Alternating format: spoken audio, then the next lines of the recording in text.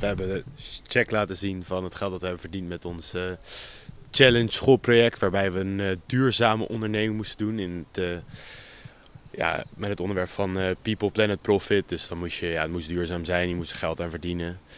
Ehm, of het moest goed zijn voor de mensheid, zeg maar. En wat wij dus hadden gedaan was, ehm, we, hadden, we hebben basically doppers ingekocht bij een ander bedrijf. Maar dan die hadden we laten bedrukken met het uh, Unique logo, dat is onze school.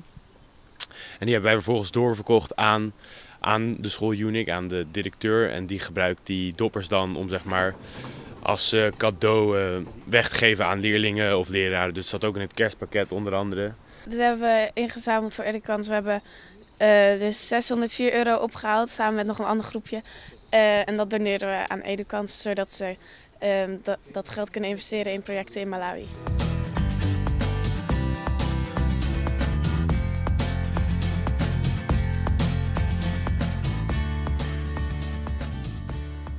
Educans heeft verschillende eh, programma's. Een van de programma's is Going Global. Dat is een programma voor het voortgezet onderwijs in Nederland. Daar deze, heeft deze school eh, aan meegedaan. En daar eh, m- eh, zijn in verband met dat programma zijn er docenten en leerlingen. En van deze school één docent en één leerling. naar Malawi geweest. Daar hebben we ze zelf ervaren hoe het onderwijs in Malawi in elkaar zit. En eh, daar hebben ze ook gezien de enorme verschillen tussen het Nederlandse onderwijs en het onderwijs in Malawi.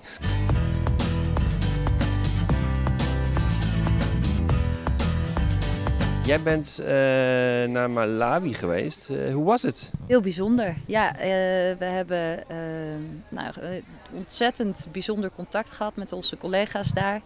Eh, en we waren samen met leerlingen. Dat was eh, echt ook een meerwaarde. Eh, omdat we mooi konden uitwisselen. Je had de life skills van de leerlingen en eh, je had eh, wat wij deden, activerende didactiek. Ehm, dus wij zijn in de klasse geweest. We hebben samen met collega's gekeken van hoe kun je het nou nog interessanter en motiverender maken. En dat was een hele mooie combinatie. En tegelijkertijd hebben we veel armoede gezien. in combinatie met enorme gemeenschapszin. Ja, je bent gewoon veel bewuster met wat ik hier heb. En eh, nou, ik ben dus heel erg ziek geweest. Maar ik kan volgend jaar wel gewoon nog naar school toe. En terwijl ik in Malawi misschien eh, gewoon van school uitgevallen was. En ook geen kans meer heb om opnieuw naar school te gaan. Dus eh, dat zijn bijvoorbeeld dingen waarvan ik nu denk van wow, ehm, daar heb ik heel veel geluk mee. Dat ik wel gewoon die kans krijg om nog steeds mijn school af te maken. Wat heb je gedaan precies?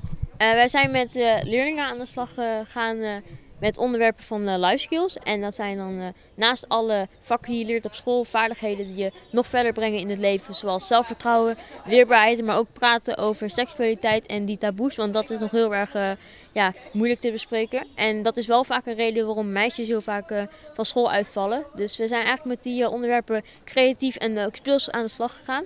En via ja, liedjes en toneelstukjes hebben we die onderwerpen eigenlijk een beetje aangekaart. We zitten in een Educans team en dat is een team dat houdt in dat we geld gaan inzamelen voor Educans met allemaal projecten. En een van de projecten dat is sterrensport en daarmee willen we zoveel mogelijk geld op te halen met 12 uur sporten. Dus van 9 uur s avonds tot 9 uur s ochtends gaan we sporten en we proberen zoveel mogelijk geld op te halen. En dat is aardig gelukt eigenlijk. We hebben in totaal nu 3000 euro ja, in totaal opgehaald. Niet alleen sporten, maar gewoon in zijn geheel.